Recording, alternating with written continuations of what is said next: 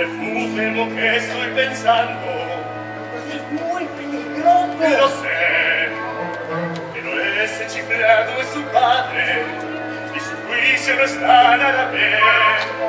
Ya mi mente está trabajando, desde ya es en un ático porque le he